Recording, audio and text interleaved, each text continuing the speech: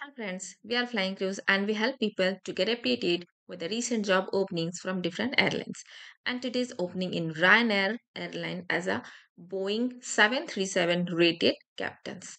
So let's discuss the role. So Ryanair are delighted to announce that they are actively recruiting for Boeing 737 rated captains to join Europe's largest airline group.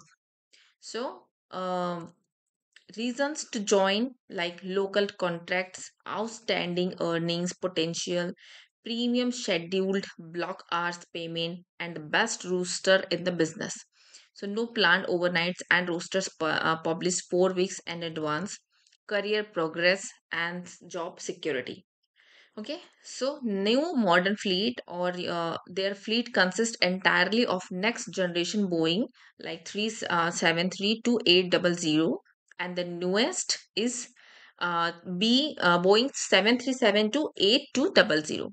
Okay, and uh, for this visa sponsorship av- available in UK.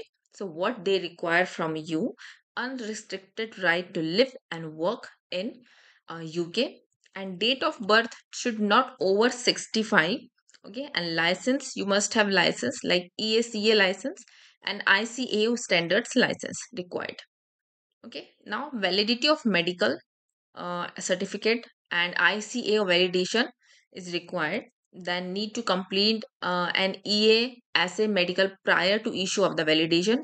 Minimum 3500 hours of total flying time. Minimum of 2000 hours of multi-crew, multi-engine aircraft.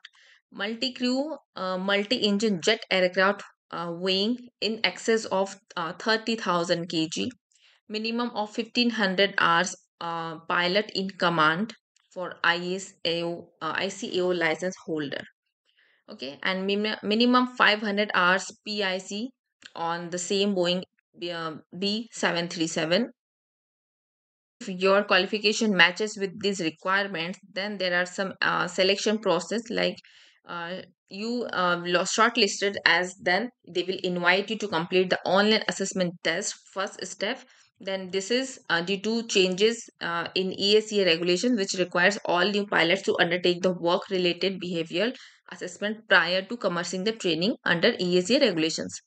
Okay so this is completed in two phases like phase 1 uh, consists of online assessment and then phase 2 is of psychological assessment which forms part of the overall uh, simulator assessment or interview. So during uh, phase 1 captains are required to complete a total of one task. So only candidates who successfully complete and meet the minimum standards during phase 1 will be forwarded to phase 2 okay.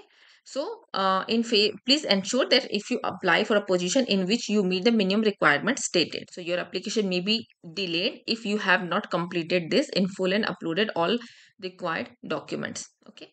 So be prepared for the interview and for more information subscribe our channel. Thank you